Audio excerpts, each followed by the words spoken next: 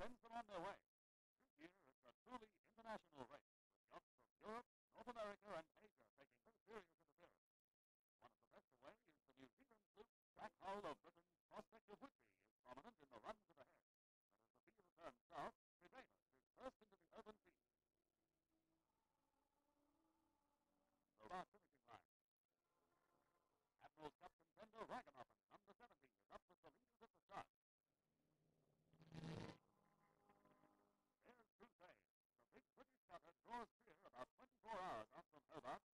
home and take mine on her.